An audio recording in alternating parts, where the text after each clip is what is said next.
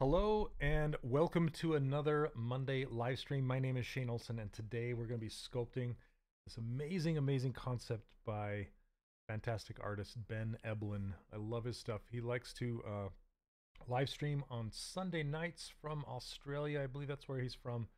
He Has a really well-rounded knowledge of 3D and planes and all sorts of stuff. So yeah, we're gonna check it out. And uh, here we go.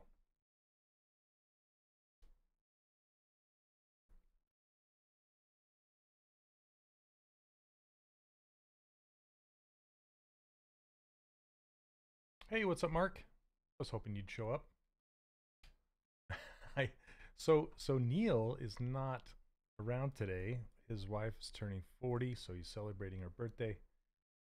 So if you want to post links, Mark, be you're welcome to if you want to. No pressure. but this is Ben Eblin. If you want to find his, I think he's on Instagram.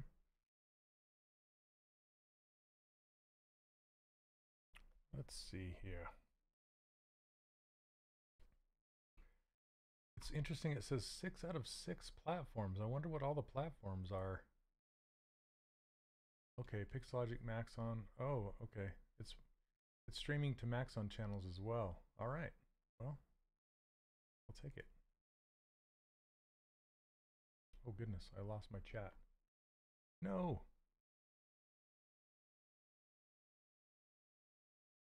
No. Gosh dang it. Where did it go? There it is. Okay. Chatted in the last couple seconds, I lost it. Uh, yes, starting from a sphere. Here we go. Okay. that's the back, that's the side.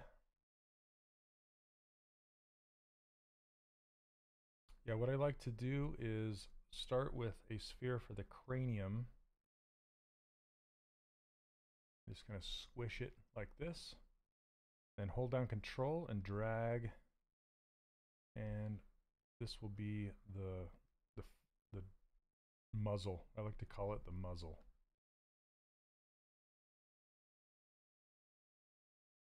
The volume's pretty low. Here, let me turn it up. How's that? Is that better?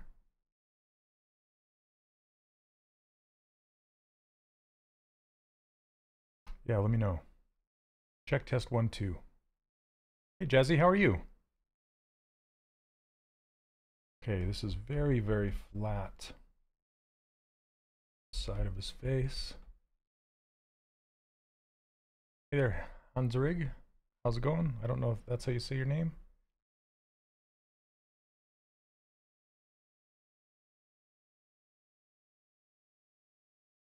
So this head it's very, very flat from the front. I'm kind of swinging it down, try and maintain that look. Just about to go to work, wanted to hop on. Ah, I saw you were sculpting on the Discord earlier today. Is that something new or is it the same?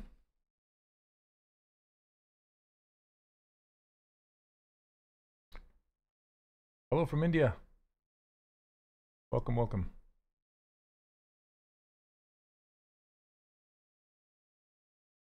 Synopsis, how, uh, how are you? Welcome. Okay, so I'm just kind of trying to get that whole shape in there. Wasn't on stream lately because my son. Well, congratulations. That's awesome. That's huge. Come on. Okay, I want this off. Just felt like perspective was turned on for a minute. Which it wasn't, just felt that way for some reason.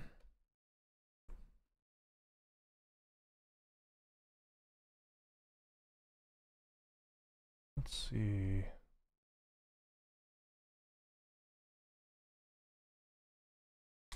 It's midnight here. 4 a.m. in in Australia. Man, this so Ben Eblin is from Australia. The concept artist. He streams on his channel uh, on Sunday nights. And he will do traditional sculpting as well as drawing and painting. he has a really, really sound knowledge of form. You can see that he really knows his forms well. And I think it helps his drawings a lot.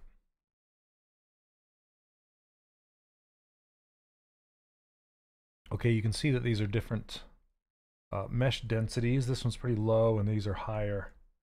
If you look, you can see why.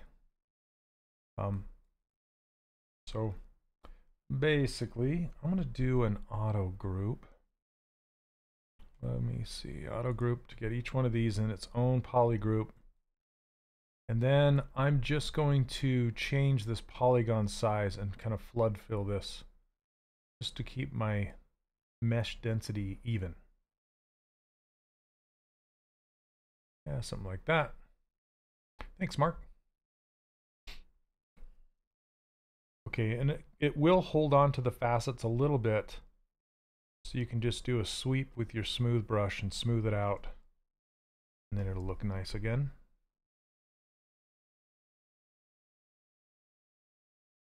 You can also hit the side of the head with a polish brush. You thought I was going to say hammer.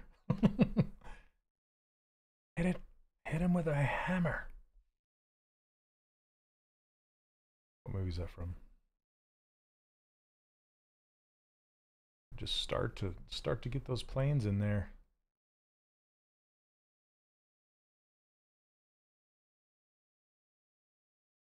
Now for the eyes, um, I've been recently I've been uh, playing with getting like the the lower plane of the eye sockets.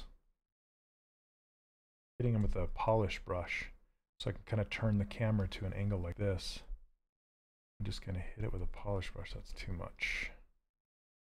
Let me see well I was just going to hit transparent but that doesn't work because they're not on multiple different subtools they're all on the same subtool but what I could do is isolate this and then hit it. I'm just trying to knock down this plane like this.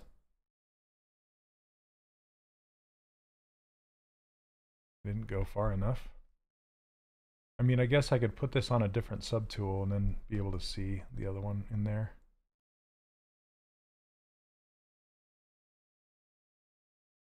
Something like that. Might be too steep of an angle. Then I can isolate this one. I'm only guessing because I'm kind of working blind here. See how it starts to create that that slice, that triangular slice out of there. And then you put the nose over the top. Okay, but you know what I'm going to do? I'm going to isolate this, uh, split it into a, a different subtool so then I can hit transparent and then I can see them at the same time. So now I can kind of get a better idea of how far down to push this.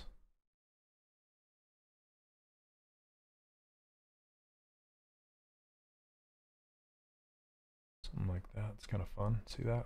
That slant. And I can go grab this one and do the same thing but opposite. I don't do that do it this way very often. A lot of times I like to use the live stream to um, to experiment with different techniques. Is it worse? As not good, not as good to sculpt the whole head from one sphere? It there's no wrong method. It's just however you want to do it. Um, I like to sculpt my heads from multiple objects because it gives me a little more control. But if you, yeah, if you want to do it from one sphere, then that that's there's nothing wrong with that. A lot of people do it. Okay, before we get any further, let's go ahead and save it.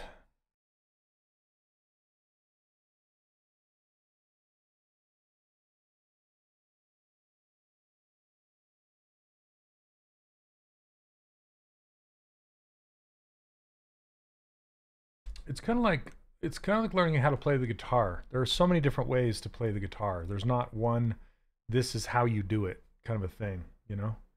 It's uh you can play it however you want it. So you can sculpt however you want. It's the end result that matters. Okay, so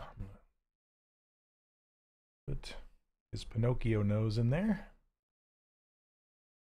Turn it around. Yeah, a lot of people will start with a sphere and then they'll cut. They'll, they'll use a brush and kind of cut into the surface to cut out the eyes and the the planes like that. Like I believe Polygon likes to work that way. Um, like Danny, Danny Mac, he likes to work that way.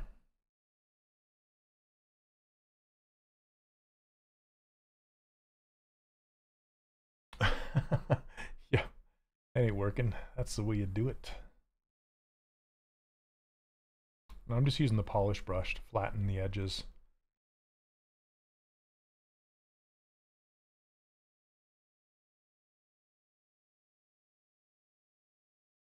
And again, this is a little bit too low resolution, so I'm going to just grab this slider and move it slightly, let go. It'll just flood fill this whole thing.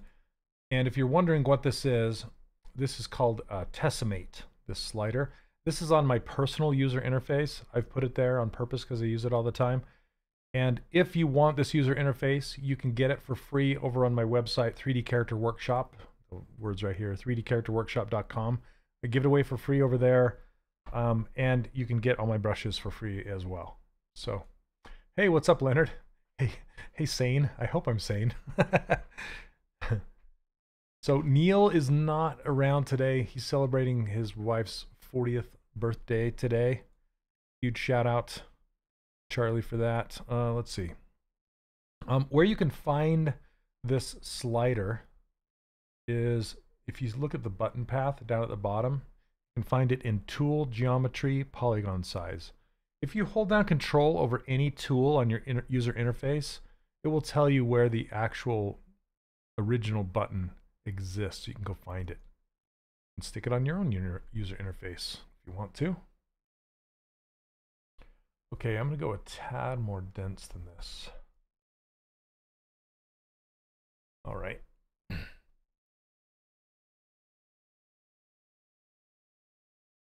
Then I want to grab this Move Infinite brush and maybe AccuCurve. AccuCurve will make it pointy.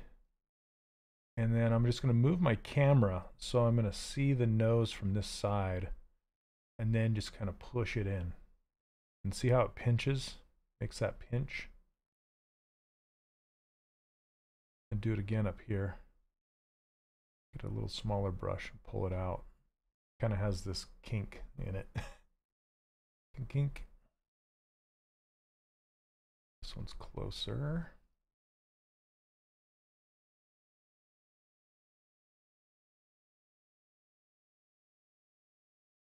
Okay. Let's grab the polish brush again. So what's going on, Leonard? What's new? What's new with you?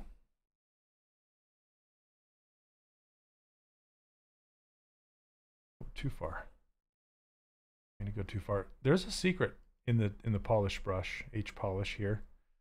Um, if you hold down Alt, it will actually pull the material up to the brush. So if you don't hold down Alt, it'll just flatten everything around the brush. Here, let me let me show you what I'm talking about. Let me see if I can give you a good example. Um, Maybe on his chin. We'll make a big brush. Okay. So regular polish just pushes down a circle like this. Okay? And if I hold down Alt, well, let's push it in. If I hold down Alt, it will bring the material up to the brush like this. Sometimes you want that, sometimes you don't. what grabbed you in the stylized genre? Um, I'm a sucker for good design.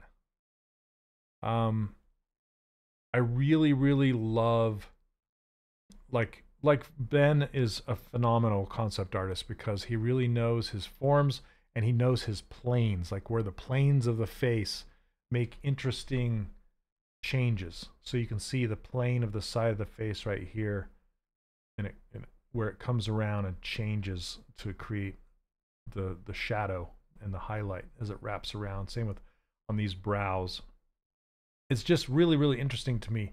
And on a real, like a realistic person's face, it really isn't that pushed. And I just, I don't know. I really like design. It's fun. And I love the challenge of trying to match somebody's concept. Yeah, Peaky Blinders from, yep. How, how you doing, Eric? Haven't seen you for a while. How's it going? Thanks for stopping by the stream. You know what? I didn't mean to pull that into the face. Let's do that. And I'm going to pull this up into the brow a little bit more.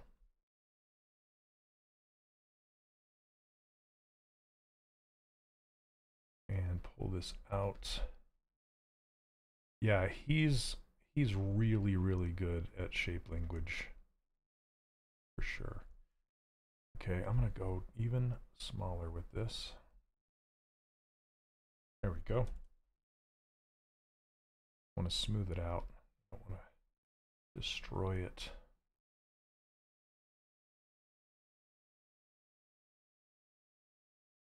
Okay. Pull these out even further, these wings nostril wings. And then for his nostrils, you know, I got, it's looking a little more shallow than what I have it. So I'm going to pull it in. I'll probably have to pull the mouth out more too.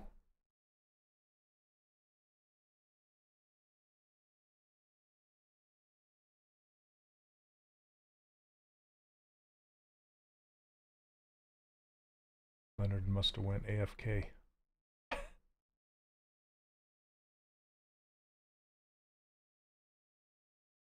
Okay, and then I'll, I'll smooth this out, this connection to the face after I merge it together later on here.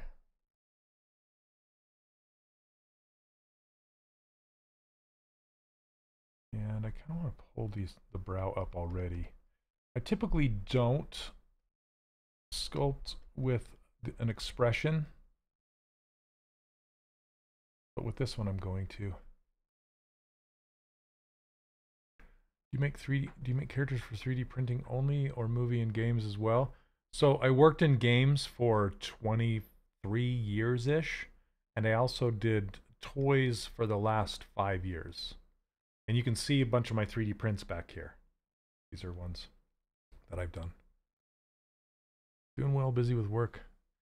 Share with you later on the project. Awesome. Oh, nasty bug. That's no fun. I am getting into uh, character creator though. Uh, Real Reallusion. We'll have to talk about that, Eric. It's pretty pretty interesting stuff. So Real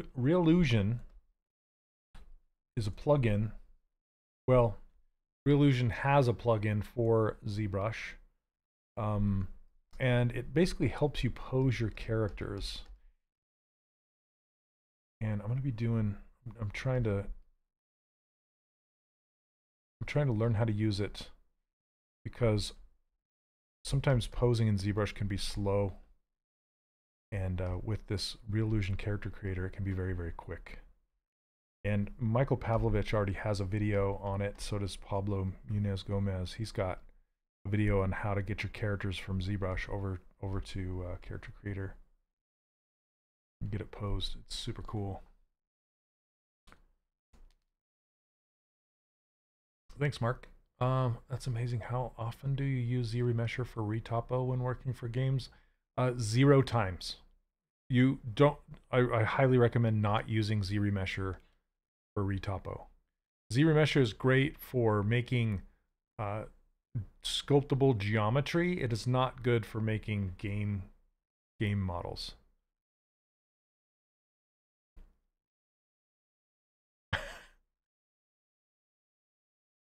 Uh, what device and material do you use for printing? Um, most most of the ones back here are printed on a Form 2, and a few are printed on a Form 3, and they're using, you can see the boxes of materials down here.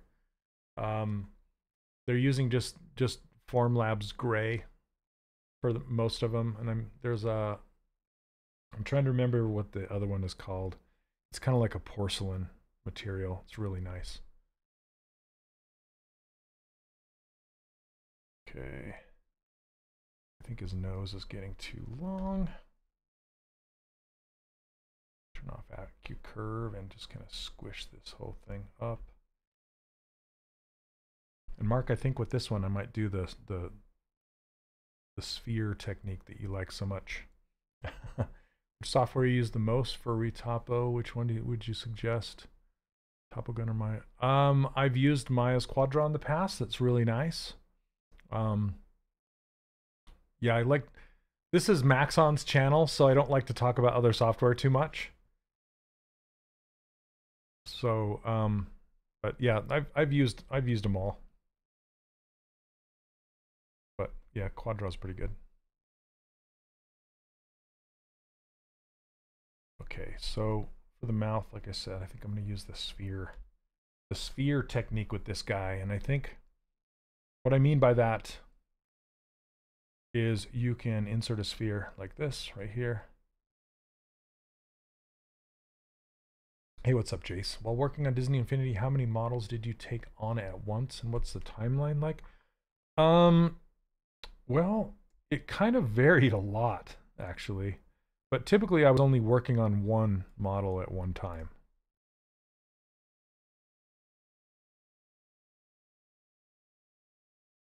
Okay, so I'll do that. the lizard, yeah. What? Don't be talking about our competitors. I've actually been enjoying um, CozyBlanket on the iPad for Retopo. That's that's a surprising new development. It's quite good. Do industries demand characters from Sketch, or can we take a base model? Um, industries only care about the end result, I think. So, for the most part, um, that being said, I would learn how to model your own base meshes uh, I wouldn't use them as a crutch. So just learn learn how to do it yourself, and then use base meshes if you're if you're learning.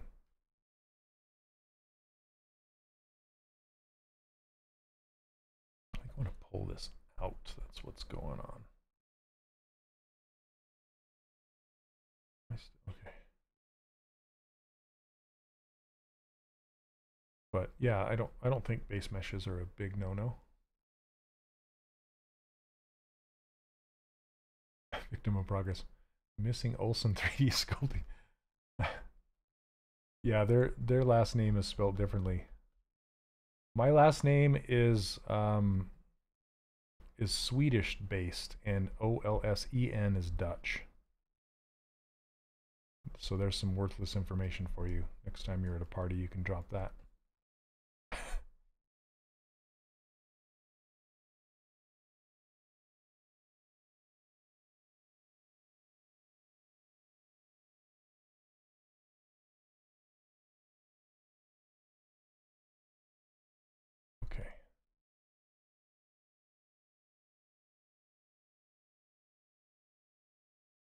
Smooth this out a little bit. And let's get this chin squared off. Useful 3D sculpting and name trivia. right. So let's see here. Bring this back.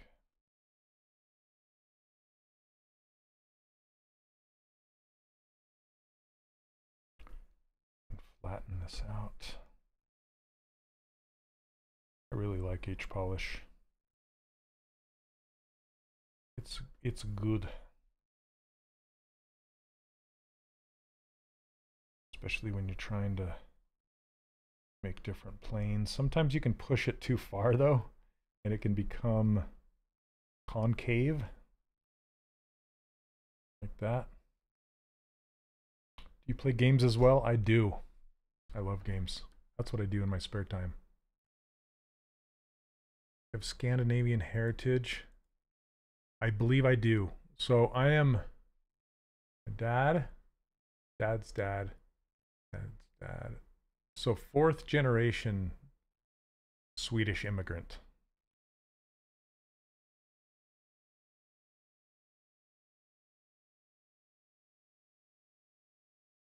I guess I guess the last name used to be Olosen before it was Olson, Olesen. Something like that. I don't know. Okay, I'm going.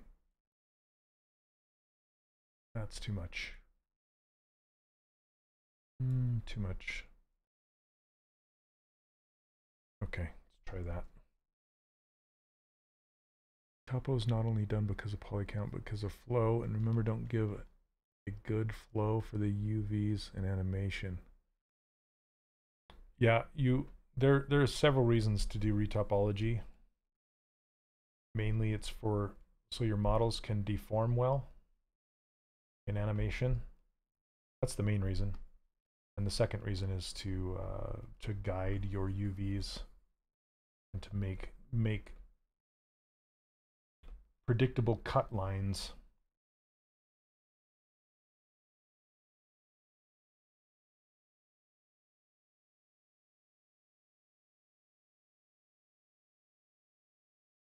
that Reallusion tool. Hey, what's up, George? How you doing, man? Reallusion tool looks pretty cool. Does it handle well with dense tools? Okay, so George, here's the th here's the thing. Since I have you here and you know what you know what I'm talking about, here's the here's the procedure. Okay, so if you have a really dense model, what you want to do is is is create it like you're going to pose it in ZBrush. So no Dynamesh meshes, no so Sculptris Pro meshes, uh, Tessimated meshes. You'd basically take your high density mesh, Z-remesh it, subdivide it, project the detail onto that. So you have um, low resolutions that have been subdivided, all your subtools like that, right? Because that's kind of how you would pose in ZBrush. And then you you can you have two choices at that point. You can either UV everything like temporary ZBrush UVs, you know, from UV Master, and then uh, create textures for all of those pieces, um, and then push that over. And or it will also do uh, poly paint if you want, but it's going to be on the lowest. It's going to send over the lowest resolution uh, objects of you know the lowest resolution subdivision from your subtools. So sometimes the poly paint doesn't always look that great. Um, so if you have high density, like really uh, big, you know, highly detailed textures on your surfaces, then you would want, if you want to see those textures over in Character Creator, because it does have a kind of a um, a real-time renderer like Eevee or uh, uh, Marmoset, something like that. Um, and so you can send it over there, see your textures, and it actually it actually works quite well um, doing it that way. And then you can go and you you can rig it up really quickly. It has some rig guides and you can put a rig in there really fast. It'll create the bones and then you can do skin weighting and then you can um, you can bring those poses back to ZBrush as layers. And ZBrush has there's a plugin that is called what is it called? Oh, I don't have it loaded in my 2023.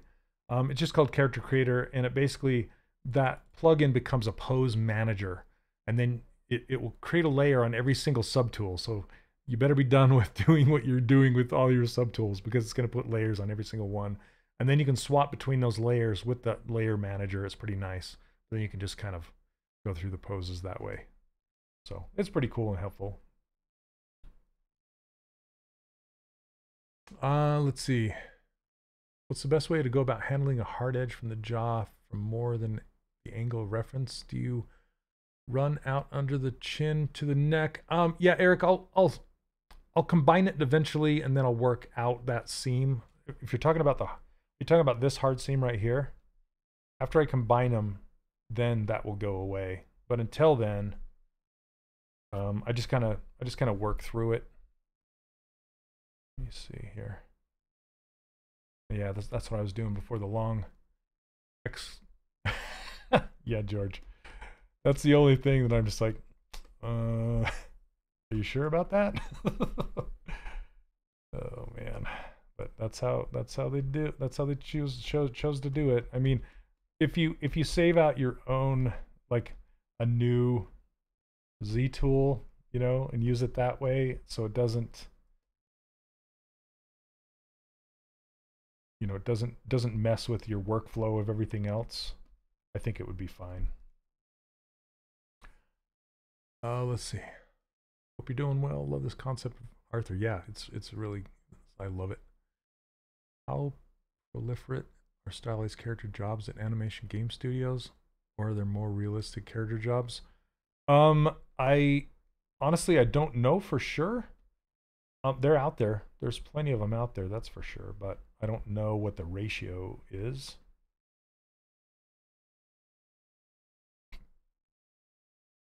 And honestly, I wouldn't if you're if you're right in the middle of like, well, should I go stylized? Should I go realistic?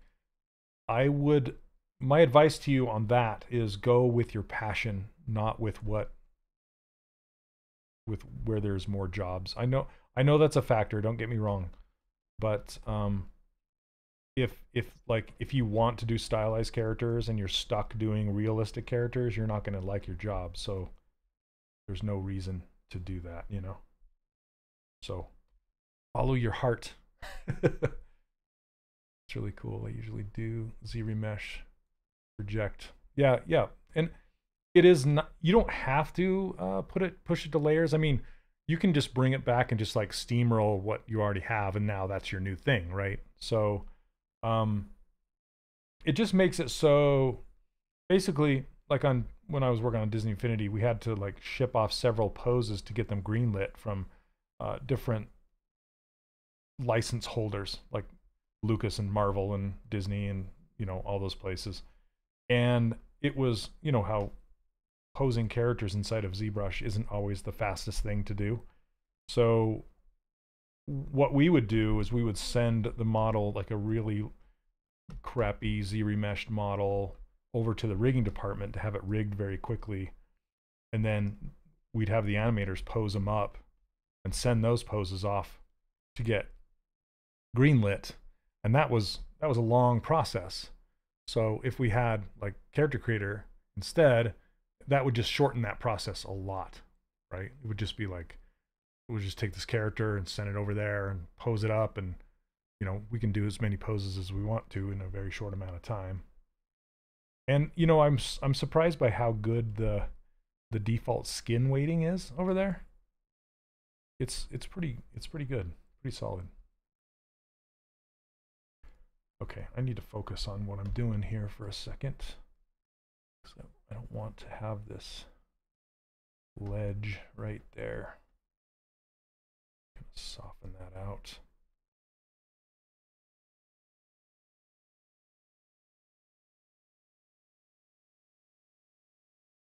Learn all the styles and get a debuff to sanity. yeah, I, I you know, again, I keep comparing learning sculpting to learning a guitar. Okay. You're like, well, should I learn country or should I learn heavy metal? You know, that's kind of what you're asking me. And so they're they're you're still learning how to play the guitar at the end of the day, right? So it doesn't really matter. You just need to learn how to play play the guitar, and you will be able to sculpt both realistic and stylized eventually at the end of the day. So.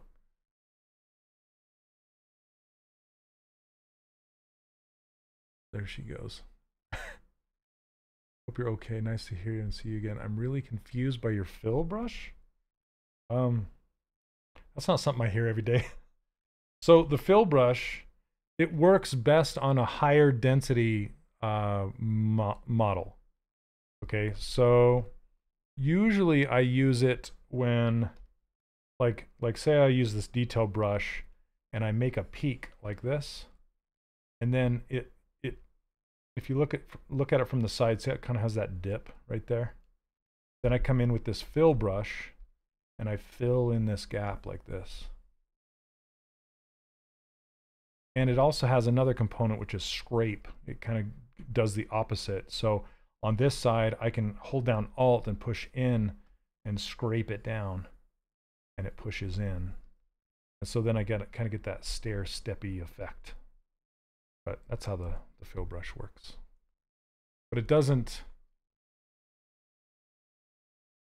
the result looks like the, you have to have it high enough density. If it's not, if it's not high enough resolution, it's not going to work. You got to have a high density.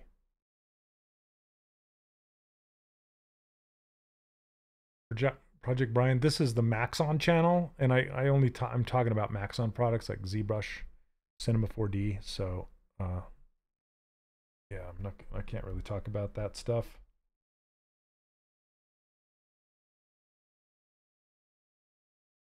Okay.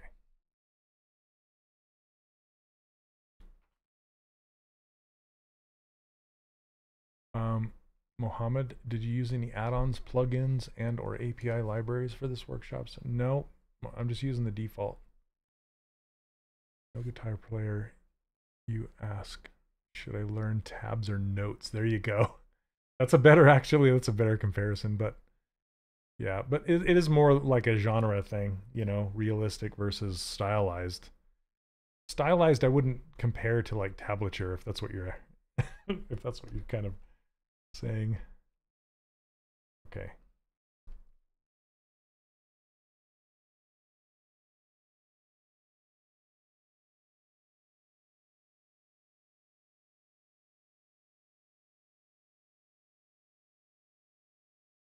I'm really glad I was able to catch a scream. I've been following for a while now. It's very helpful going into my modeling class last month. Nice.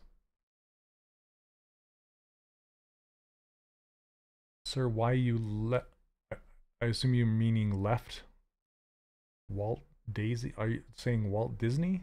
Why did I leave Walt Disney? Because the studio I was working at um, got purchased by Warner Brothers. Walt Disney sold it to Warner Brothers. And then I made a course. It's called the 3D Character Workshop. Um, while I was working at Disney, I made a course. That's what this logo is from right here and um, the course did really really well i sold a lot and now that's what i do full time so if you're interested in that course you can go check it out at 3dcharacterworkshop.com thanks for being a teacher to all of us i know we give you a lot of pressure with questions. No i love the questions honestly. I mean it does slow down my sculpting but i, I like i like answering the questions. I was just talking to my buddy Steve James about it today because a lot of the questions are repeats. Every every single week. It's like what what's you know what's this what's that? So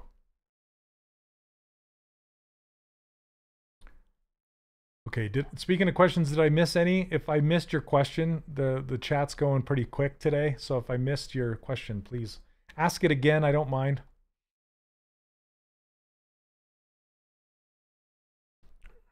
Okay. Uh, what kind of hardware tablet do you use?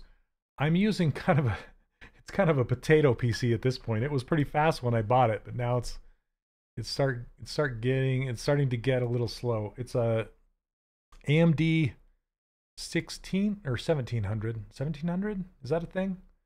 Um, but it has two 1080 uh, GT, GT, what are they called? GeForce cards. Two 1080s in it. Um, 32 megs of RAM, I think. Maybe 64. And uh, the tablet I'm using is a 27 inch Wacom Cintiq.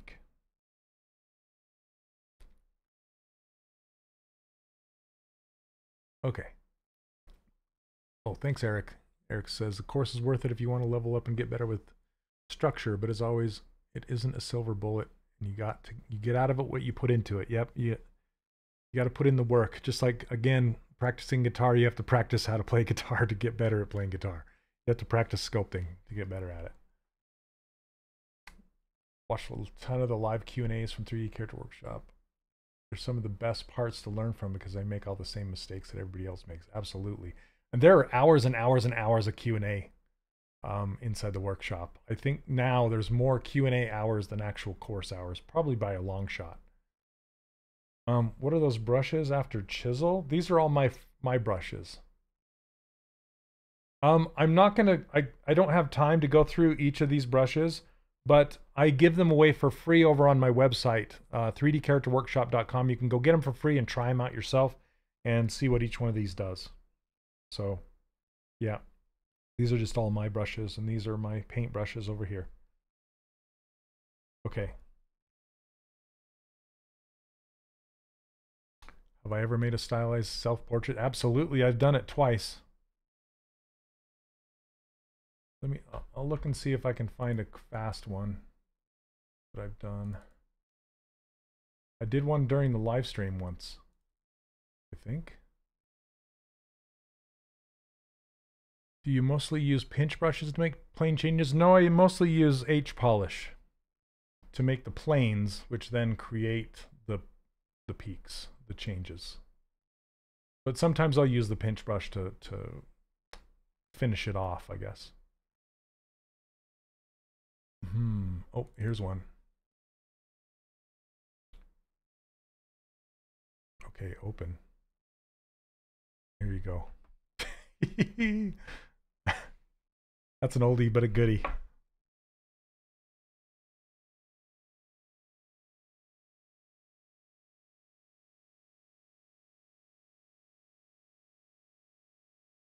Seeing if I had an older one. Nope, I don't know where my older one is.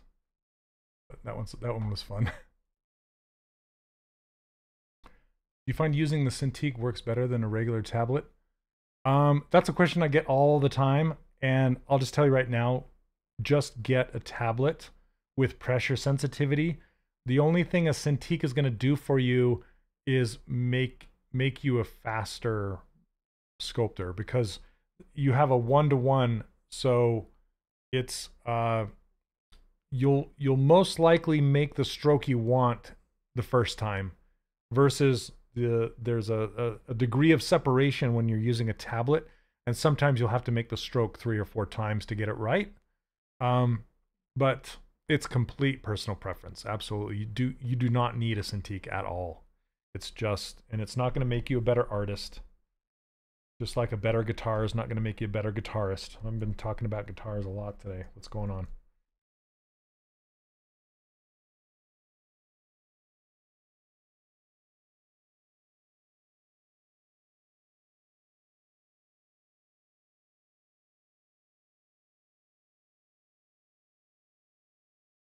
Yep, like a good a good guitarist can play an amazing song on a piece of crap guitar. Doesn't yeah. Hopefully that makes sense. Okay so i'm actually going to take this mouth thing now and i'm going to split it off to its own subtool. When will you merge all polygroups? Um when i'm ready typically. I have to i get everything in place and then i merge them. There's and there's not a there's not a okay now it's time to merge. It's whenever you you need to right? As an as your as you're um, going through yourself making your own models you'll know when it's time. When basically when you run out of stuff to do while everything's separated. That's that's basically when it when when it, you should do it. Okay. So i have this uh, this mouth sphere right here. I'm going to duplicate it duplicate. So now I have two of them. One's going to be the upper lip and one's going to be the lower lip. So basically I'm going to use this knife brush now. And then I'm going to go around it. Man, I wish it would clip like that. I'm too used to something else working that way. Um, are you preferring to block out the volume of the mouth a lot more recently? It's just a technique sometimes I like to do because it it gives me a couple things, right? It gives me the the teeth curvature inside the mouth automatically. So I like that a lot. Um, and then if I pull it up to up behind the nose flange, it automatically starts to give me that smile line coming out from behind the nose. and then it gives me the proper volume. So the distance between the tip of the nose and the back of the nostril flange is where the lip should be right here. So it automatically gives me that too. I'm sculpting this too. We requested some advice on the Discord server. I I asked you if I I don't I don't know if you responded fast enough. So I wanted I wanted to work out some of the problems because it, it this is very uh prob like it's a puzzle, right? You're trying to work out the pieces of, of the puzzle, and there are some really interesting plane changes happening through here. And I was looking at it, and I'm like, okay, I don't know quite what to tell you on how to how to do that right through there unless I try it myself. So that's why I decided I'm like, oh, I should try that. So, but it's looking good. Yeah, your version's looking good. I think, like I, I think I uh, answered. I said the the biggest thing or the is the eye size, and then make sure the iris is getting covered just a little bit because he's got that deer in the headlights look just a bit. Okay, so I'm going to use uh, BK and then this knife curve rather than the knife lasso. And then I'm going to slice it like so. And let me see, maybe, maybe like that. that looks like his mustache already. And that's his top lip. I'm going to put it up above. And then we got this lower lip and we're going to cut it like, like this.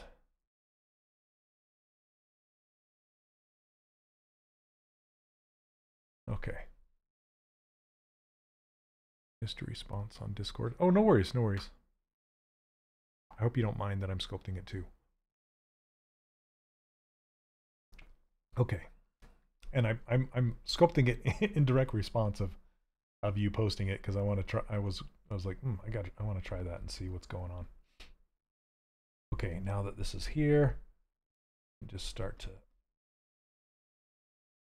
shape it. You know, I think I want to make that. Mm, I don't think I can.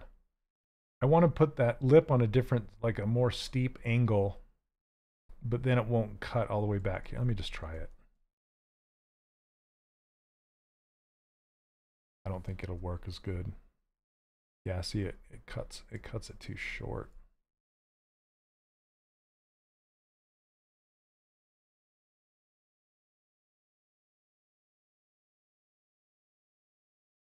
Oh, George, tell me about it. Yeah, it's crazy how stylized characters can look so simple, but how complex they can be, especially if translating to 3D. You know, that wasn't more true than when um, one of my students was like a complete, complete beginner, and I'm like, well, maybe, maybe you, uh, maybe you should try Kirby, right? It's like it's a sphere with some arms, and I I tried it myself, and I could not believe how difficult the the shapes were for just simple Kirby. You know, because you have to measure. You have to measure how like the distance between um like where his arms come out of his body and how far apart his eyes are and there's so much to it. Please do fast. Well, I'm answering questions, so I can only go as fast as I can go. If I wasn't talking and I was just sculpting, that'd be a different story. But if you want, you I have a whole bunch of videos, I think over 200 of them on the Pixologic YouTube channel. And you can set the speed to times two on those things and watch it as fast as you want.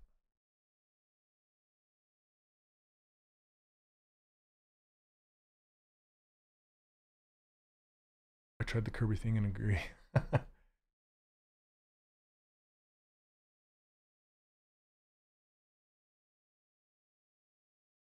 I don't mind. I get all sorts of comments on here. Whatever.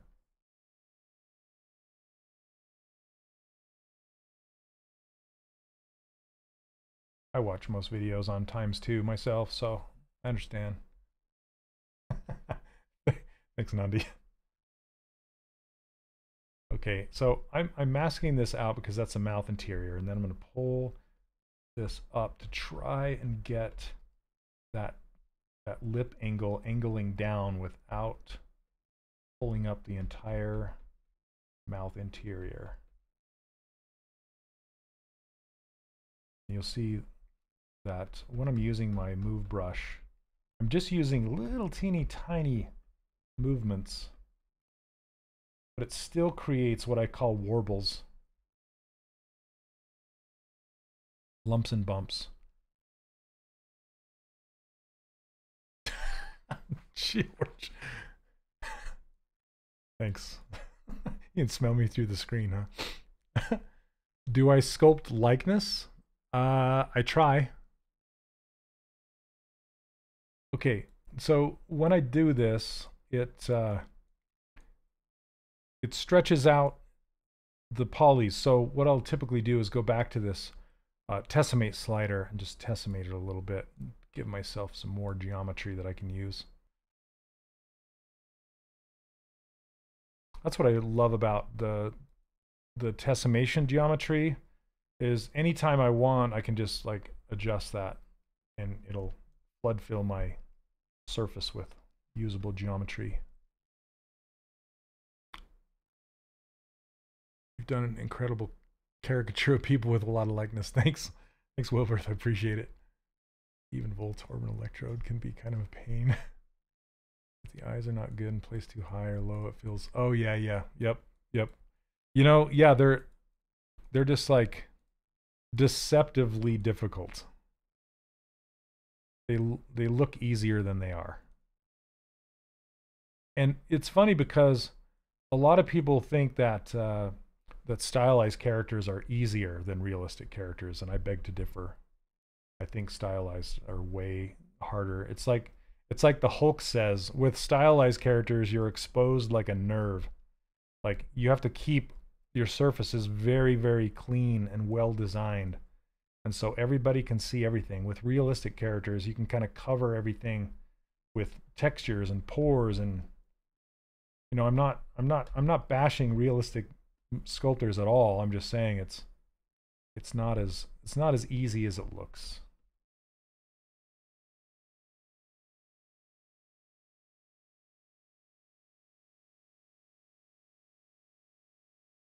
Hey Jerome, how are you? You would know, sir. How's it going? I just saw your post with those giant fish. Holy cow.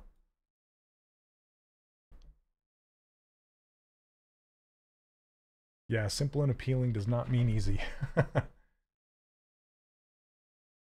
you want to do Kirby now? You should do Kirby. It's a good it's a good exercise for sure. And a surprising one. It's it's really difficult to get him uh, keep him on model. They, that, that's what they call it in the industry is on model. Which basically means looking like the character. You're good. Thanks for stopping by. It's always good to see you. Let's see.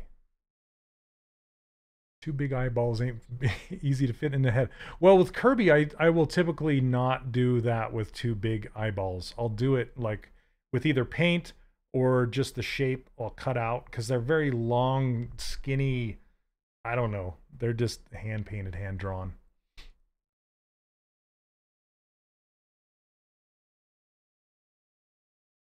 Okay, so for this, I think the no, I think the not the upper lip is hidden by his mustache. So I don't really know what's going on under there. I can just guess.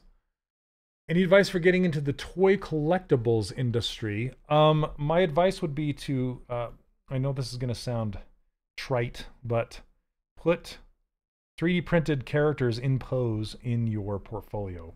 That's the biggest thing. Um, and the second thing is buy, well, it depends on if you want to get into toy making where there's articulation. And if you are, you can go buy toys and like break them apart to see how the articulation is done. Typically, toys are engineered by a third third party engineer in a different software, so you don't necessarily need to know how to do all that stuff.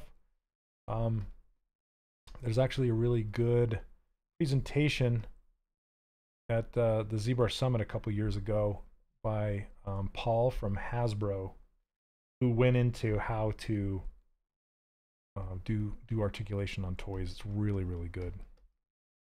And you may or may not see a cameo of me asking him to demonstrate it. I was I was at that ZBrush Summit.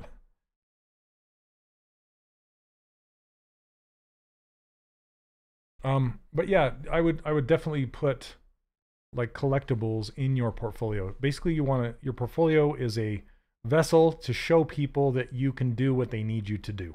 That's all it that's all it's there for. So as long as you can show people that you can do what you need they need you to do, then you should be uh yeah, should be good to go.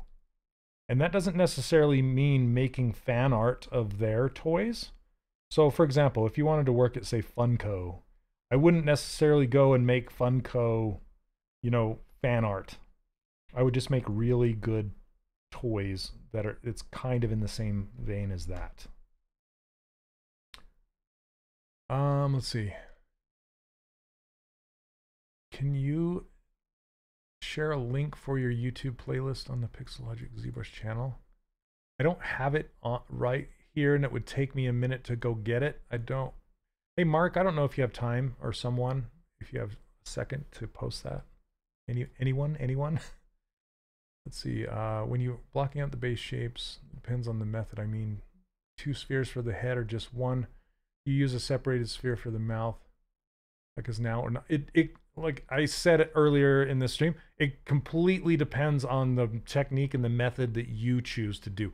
There are so many different ways to sculpt a head. Um, a lot of times you can just sculpt with a sphere or, you know, and just start cutting out the the hollow spaces for the eyes and stuff like that. A lot of people will start that way.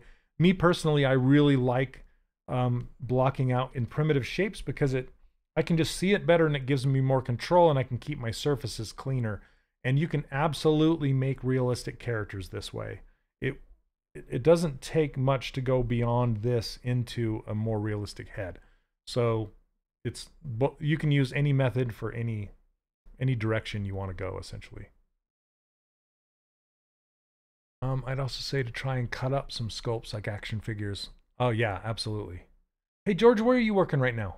You're in you're in toys now, aren't you?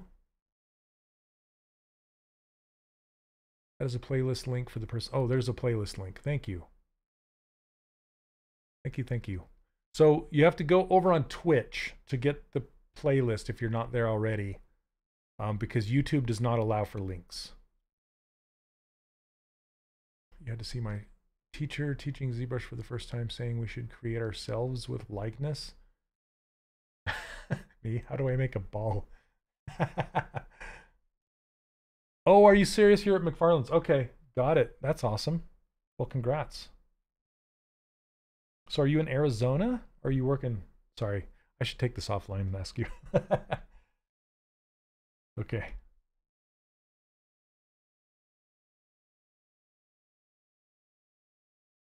Okay, I'm just gonna put these eyes in there. Uh, reset my gizmo and then snap them. There you go. Trying to specialize in character creation. I'm learning 3D from past year. Can you give me some advice or tips for a better career in character creation? It depends on what you want to do. If you want to go into film or games or television or where you want to and that's that's where wherever you whatever you want to do that's where you should focus in my opinion let's see his eyes are pretty close together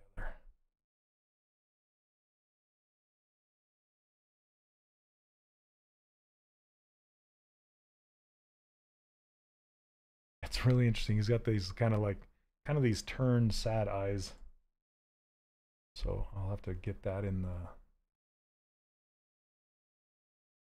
in there in a second. Um, but yeah, I so first the first question you have to ask, ask yourself: Do you want to work which ind- which part of the industry do you want to work in? And then um, the second is, you know, do you want to work in realistic or stylized? Um, and then just kind of focus down on that kind of stuff. McBobbles. I'm still waiting for that money. I'm kidding. Okay, I'm going to split this off.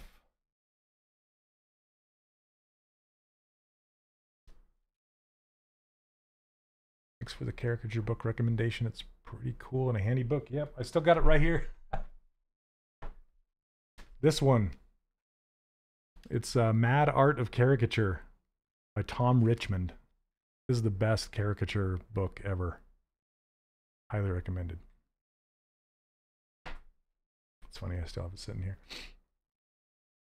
Learning eyes were funny because I never realized how little of the actual eyeball you see. Most of it's just squashed into the head for sure, especially with stylized characters.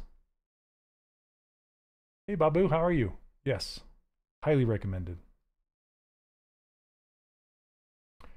Yeah, so this is what my friend Steve and I were talking about. And Jerome, maybe you can, I don't know, you can there's there's some cheating going on right here in this in this drawing where the left side of his face is like super smooth right we got this line right here and i know it's kind of i don't know. yeah it's it's tricky so it's showing this it's like a, a drawn line from the top to the bottom straight but on this side we have some plane changes right we have ignoring the hair we have this plane coming down to about here let me uh, let me zoom in on this so you can see it better. Okay, so it's coming down here, and then we have this very subtle plane change. There's a little line right there for that uh, that jawbone that goes back and points towards the ear out to here, and then it cuts in on that plane right there, right? So straight down, comes out a little bit, and goes back down. So if you're looking at that same thing over on this side, it wouldn't be straight like this. It would be more like this. I've I've taken it too far. I got to cut it back, but yeah, i am gonna have to work that out. I still got to work out. I I've kind of damaged his nose too much. I got to work that out too. Man, it's got the symmetry on it got messed up. Okay, that's that's kind of what happens when you work with um, very complex simplicity. Yep, that's, that's the best way to put it. Oh my goodness.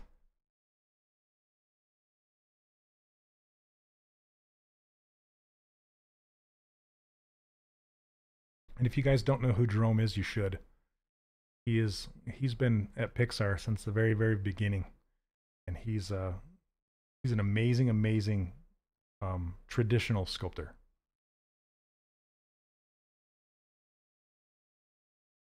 And I I've been thinking about I got to get that interview done with you ASAP, Jerome. So we have to we should talk about that.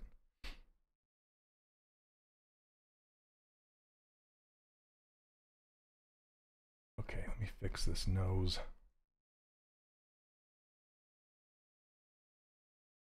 Um, let's see. What's the difference between the hPolish brush and the trim dynamic brush? Um, they're very, very similar the the trim dynamic goes a little faster. It's a little if you want to work the surface faster, that's that's a better way to do it.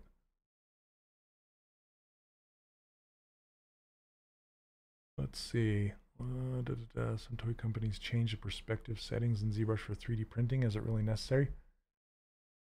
The perspective settings? Um, well, so by default, the perspective is very fisheye in here. And that's why in my custom user interface, I actually have, where did it go? These right here. And I can change this down to uh, an 85. So 35 is the default. There's a 50 and 85 right here. And I like, I like to check my perspective with 85 because it's not as pushed like that. Um, but yeah, I, they, they probably push their perspective more towards what it looks like in, if you're holding it in your hand or something like that. Um, so let's see. Uh, no, no, no, no. How are you doing? I'm kind of been living under rock lately. I was wondering if you know anybody from the concept art department. I wanted to know what the impact of AI is on the industry on a larger scale. Is it better for us to be specialists, or is it better to branch out and take more generalistic approach? Um, I, I'm trying. I don't know um, I don't really know what my take on that is because first of all, it's very uh, like immoral in my opinion, like ripping off other artists, like scraping their their art and making it's like high tech collage, right? Um, so so I have an opinion about that that I don't think it's it's right. Um, and then legislature, I don't know what they're doing with with it because it's not copyrightable because nobody created it other than a computer.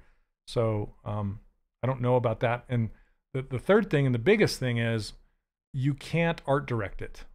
There's nothing right now that you can do with it with art direction. So it kind of ends with the image that it creates. You can't really take what it creates and say, well, change this and change that. It doesn't work. It'll create a whole new thing for you. So I'm not I'm not too concerned about that. Uh, I wouldn't be as a as a character artist.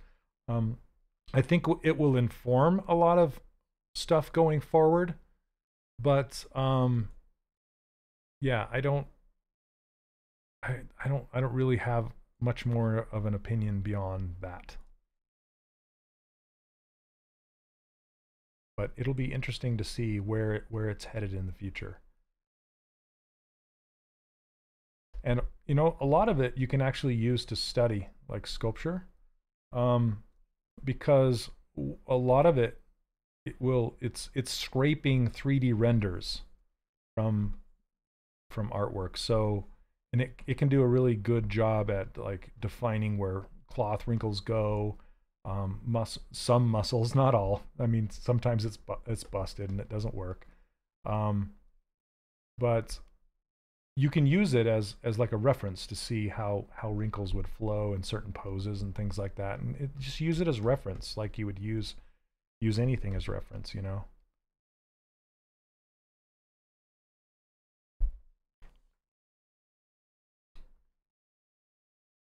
Um, so you recommended actually printing and taking photographs of the figures for non-articulated toy? Yeah, like the ones I have behind me. So these right here. Yeah, these are all 3D prints of my stuff. And I would, I could totally take those and put them in my portfolio, nicely lit, nicely rendered, you know, lit in in real life, and then I would be comfortable sending those off to a toy company which I kind of have in the future. The brush you used on the nose, this is just the print, the pinch brush, and it's free. I give it away for free. It's uh, AI anatomy is really funny. Yeah, sometimes it gets it right, and sometimes it's just it's there's so wrong, so wrong. You so you have to you can use it as reference, but you got to know your stuff. But yeah, I give away these brushes for free. You can get these over on my website, 3dcharacterworkshop.com. You can check it out over there.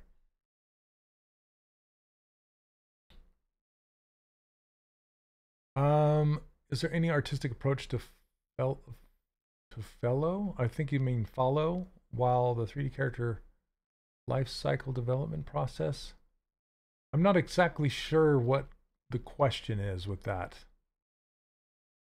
Follow the I'm not I'm not quite understanding. Maybe uh maybe asking in a slightly different way. Sorry about that. Okay. And I typically do not work with perspective turned on because the slice and knife brushes and things like that don't work with perspective. AI is very linear, so the more depth, the more team you need. yeah, and it doesn't do retopology it doesn't do uvs do, so for 3d modeling it's there's not enough models in the world to scrape to get it to work so with yeah with 3d modeling with ai i'm not unless it starts to generate point clouds and it can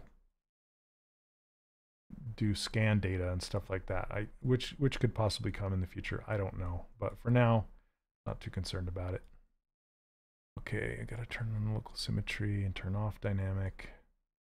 There we go.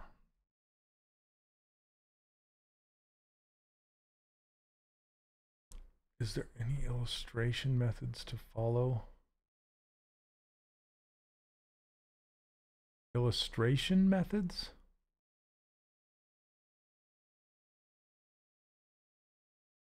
Oh, uh, Douglas. Um, so, well, I was going to say, if you're over on Twitch, then um, me is posting the link in in there, but you can't post links to YouTube.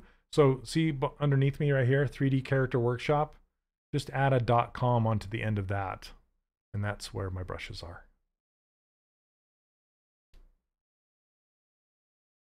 Um, Project Brian, I don't, I wouldn't say that. I have my own secret collection over on Pinterest, and some of those characters absolutely blow my mind.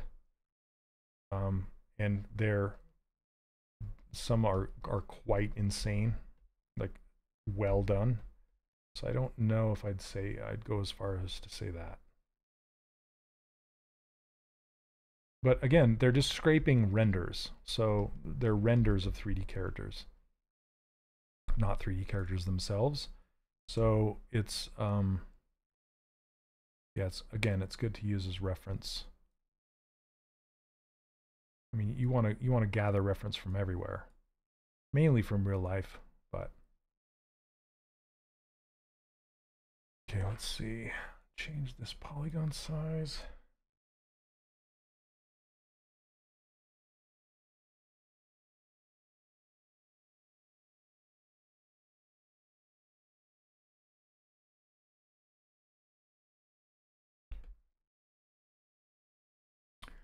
Uh, when using a single perspective reference drawing, I find getting the orthographic views look good. Do you have some advice on getting the other views to work well with the references? It mainly comes from experience and knowing the anatomy, knowing the skull shape, that kind of stuff comes from practice.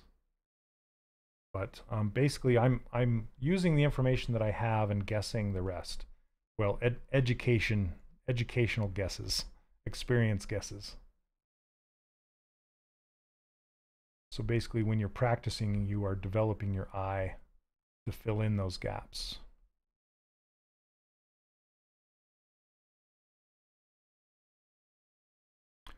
Uh, let's see. Is there any modeling sculpting technique? Yeah, sorry, Mohammed. I'm just not understanding your question. Is there any modeling sculpting technique to follow? I mean, if you're asking about the process, the overall process, then absolutely there is a there's a workflow and a process to follow. Um, I cover the entire process in my workshop, but I can't really explain the entire process here, like from start to finish, you know. Um, but I I mean, every every week I go through like pretty much how to make a bust Sometimes I'll do a cartoony, simple animal character or something like that. And the process changes. It's not always exactly the same. But basically, I block out my characters with primitive objects and then uh, sculpt it. Mohammed, you're talking to me like I'm an AI, like I'm Chat GTP or something. Funny. Uh, like rephrasing to get a different result. Seeing the way you see the concept and models has blown my mind for stylized models. I'm going to start studying more about it. Thank you, Douglas. I appreciate it.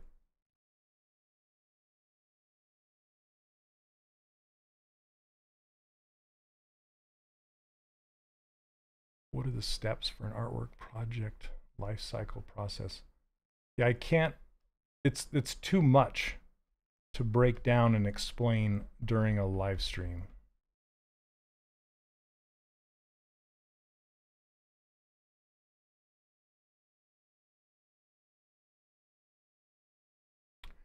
Yep, see the thing, do the thing, hate the thing, accept the thing, love the thing.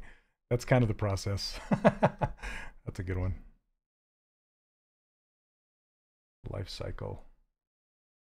Okay. Most of the time spent is refine like see the thing refine the thing try to figure it out.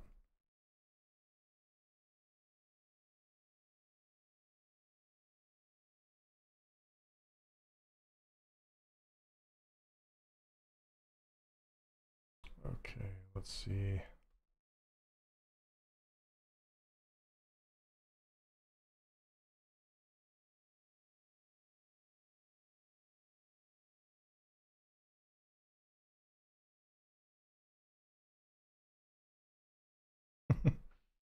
Okay, I need to start working on these eyes. I think his nose is too big.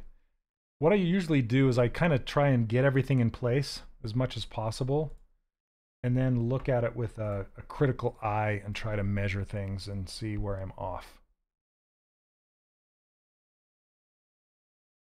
I want to get his forehead a little steeper, a little flatter in the front.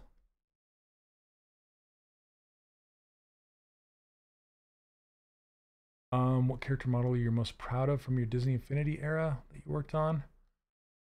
Um, Jose, I, I don't know. I want to say, I want to say Boba Fett. He was a lot of fun, and he kind of opened my eyes to um, what a pose could do in hard surfacing.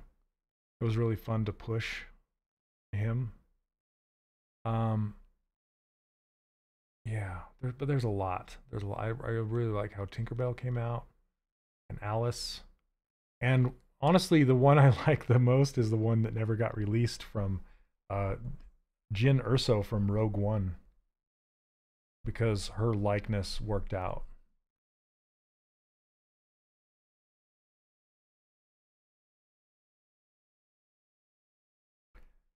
Um, any advice on pricing yourself? That's a big, that's a big question. Because it depends on what the what it is, like what the uh, what the project is going to be used for. It depends on like where the project is being developed, like say India versus the U.S. for example. Um, yeah, there's a lot that goes into pricing and like how many of the things there characters that you need to do yeah, there's there's a lot. Oops. Didn't mean to do that. I'm just gonna I'm just trying to fill these eyes.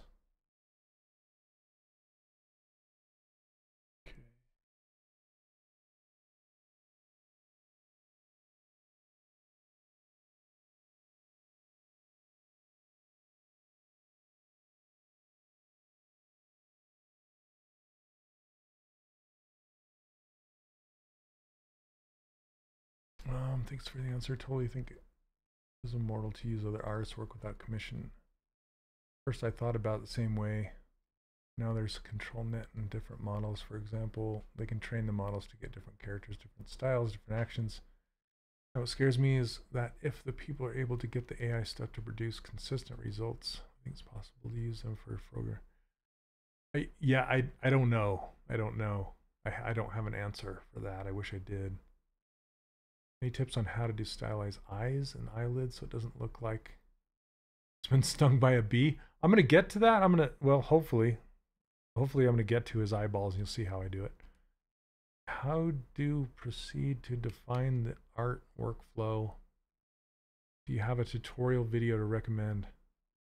Yeah, so Mohammed, I, I teach the entire workflow over at 3dcharacterworkshop.com, the whole thing. It's a paid it's a paid workshop, but I do teach the whole thing over there, the whole workflow from start to finish.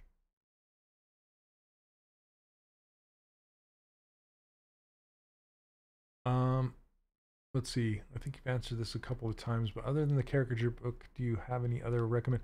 Um, I recommend Anatomy for Sculptors. is really, really great. Um, and speaking of anatomy, uh, Proko, like proko.com is very, very good. It's it's a website for figure drawing, but it's really good for learning anatomy.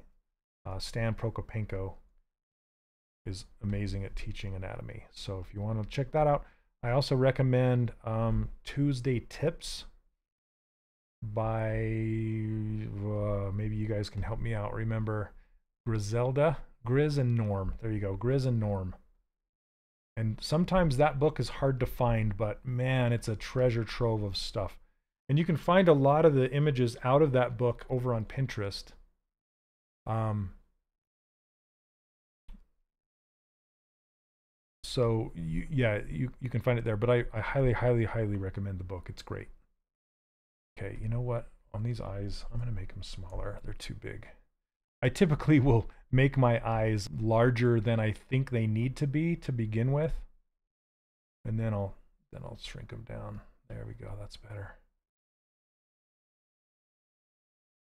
So typically, uh, stylized characters, the the relationship or the ratio is one eye width between the eyes. That's how that's how you can tell how far apart they should be, and then one eye width from the side of the head to the eye. That's how you can kind of gauge the width.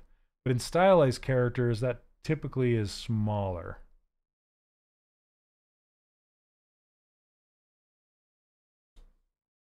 Okay. Hey, what's up, Lord Humongous? How you doing? Can you show the Jyn model? I can, Jose. One second. Hey, Lane. Any tips on getting the character? I did already answer that during the stream. Um, basically, the answer I gave was make sure you fill your portfolio with 3D printed toys that look they look like toys that exist.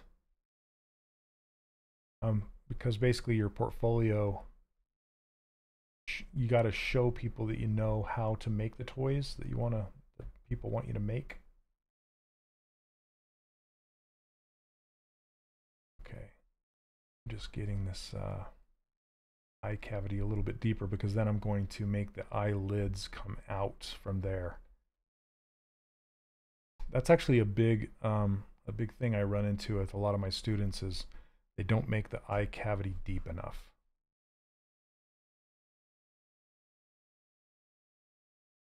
Okay, one second and I'll show you guys what Jyn Erso looks like.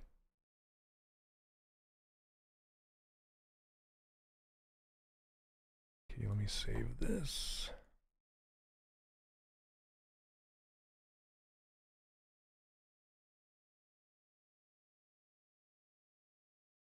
I made a sculpt for a concept artist friend and he printed it and debating if he should. Apparently a big, big hit when he goes to cons. Oh, nice. That's awesome. That's very cool. Can you talk a little bit about when it's acceptable to deviate from the concept art because sometimes it can be limited? Um yeah, it depends on it depends on the concept art, honestly. But like this one, like I'm probably going to deviate from this side being so straight because this side is explaining it in a little bit different way that I like a little better. So it's not going to be, I'm going to try my hardest to make it nice and clean like that. It, as seen from about this angle. So I'm going to be pulling, I'll be pulling this out a little bit more and, and smoothing that out, but we'll have to see. And I need to adjust all this lower jaw area. It's not really working out for me. He's looking like a boxer. His nose is too big. Okay. Um, once let me see if I can find this. Da, da, da,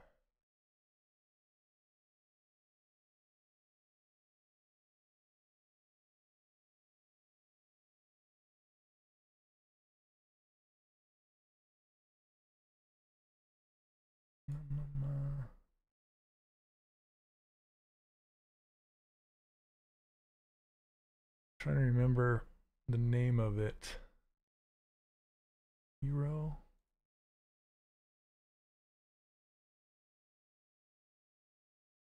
Let's see if this is it.